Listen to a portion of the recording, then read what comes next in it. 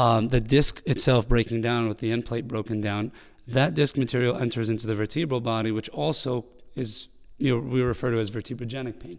So that's another thing that we treat, and, and there are ways that we can um, do fusions also, but posteriorly, where we don't necessarily have to do a major dissection. So how do you choose, man? So many cool things.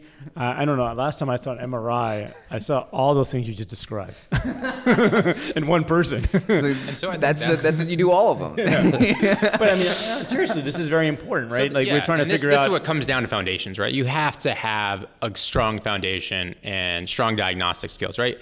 Imaging is going to show so many things. It doesn't mean you necessarily need to treat it, right? And so you have to, you know, talk to your patient first and most important thing get your hands on them um, and then combine that with your imaging findings. And like you said there's a myriad of things that we can do now. And there's never the unicorn patient that just has one thing. Or if there is it's not the majority